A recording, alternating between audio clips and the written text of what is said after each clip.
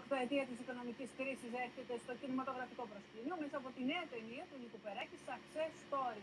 Πρόκειται για μια ιστορία αγάπης που διανέμεται αυτές τις μέρες στις ελληνικές αίσθησει. Ο Αλέξανδρος Βυζάντος συνάντησε τους συντελεστές στα γύρισμα.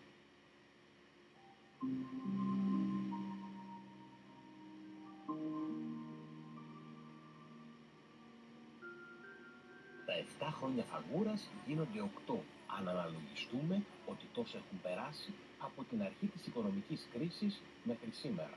Η Κατερίνα Μπέι συλλαμβάνει την ιστορία και ο Νίκος Περάκης την υλοποιεί.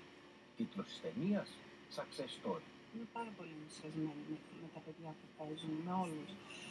Ε, ναι, βέβαια, είναι παλιοί, όπως είναι η Τζέννη Θεωνά, όπως είναι η Τόνια, η Σωτηροπούλου που θα παίξει την πρώτη της δουλειά, όπως είναι ο Ανδρέας, ο Κωνσταντίνου που και αυτός είχε κάνει την πρώτη δουλειά. Αλλά τους αγαπάμε, τι να κάνουμε, και επειδή είναι και καλοί ηθοποιοί, μπορούν να, να, να ενταχθούν σε ρόλους που ε, έχουμε φτιάξει ώστε να τους έχουμε πάρει μαζί μας. Το success story μας παραπέμπει στα πολιτικά πρόσωπα που είχαν χρησιμοποιήσει αυτή την έκφραση για να παρουσιάσουν το πέρασμα της Ελλάδας από την κρίση στην ευρωπαϊκή ευημερία και συνύπαρξη.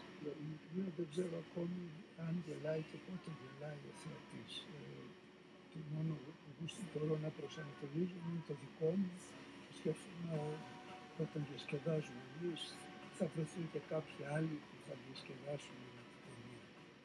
Ε, βλέπω βέβαια και ταινίες που γελάει όλη η αίθουσα εκτός από μένα. Δεν μπορώ να το κάνω αυτό το είδος κομμωδία. Στην ταινία πρωταγωνιστούν μεταξύ άλλων η Τόνια Σωτηροπούλου, η Φιώνα Γεωργιάδη, ο Κωνσταντίνος Μαρκουλάκης, ο Πάνος Μουζουράκης και η Τζέννη Θεωνά.